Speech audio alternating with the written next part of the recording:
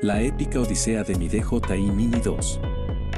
Este día casi pierdo mi valiente DJI Mini 2 en una misión que prometía ser gloriosa. Decidido a capturar unas tomas de mi moto en movimiento, confié en la función Sígueme de la app Litchi. Todo comenzó perfecto, el dron volaba con precisión mientras seguía la moto. Pero, en un arrebato de creatividad, quise cambiar el ángulo de la toma en plena marcha. En mi entusiasmo, olvidé considerar la altura de los árboles que nos rodeaban. De pronto, la tragedia acechaba. El dron, sin saberlo, se dirigía directo hacia la espesura.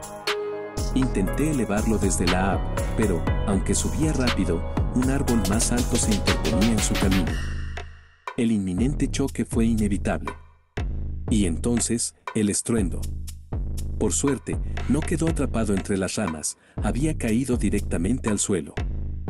Con el corazón en la mano, activé la alarma sonora para localizarlo.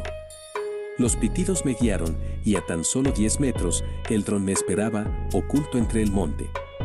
Entre la maleza y el riesgo de toparme con alguna serpiente, logré rescatarlo. Al final, sobrevivió sin un rasguño. Moraleja, amigos, no subestimen los peligros del monte. Y yo, definitivamente, me voy por el DJI Mini 4 con su seguimiento y sensores de obstáculos para evitar esta épica travesía.